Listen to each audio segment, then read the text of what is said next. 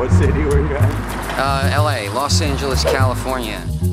This is my uh, mobile home. That's my closet and my couch. That's uh, my breakfast, my lunch, and my dinner. It's just hard to believe that it's come to this point. moving into, into a van. Why'd you have to move to LA?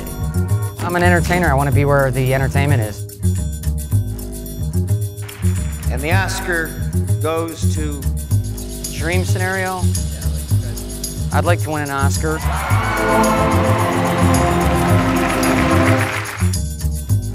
You know, I've got a kid back in New York.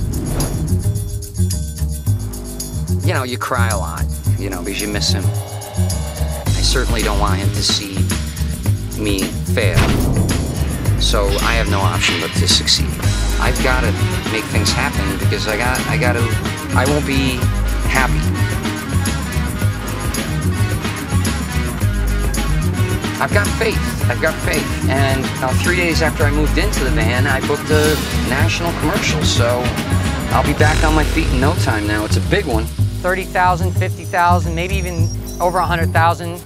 Do you think that winning an Oscar will make people truly love you?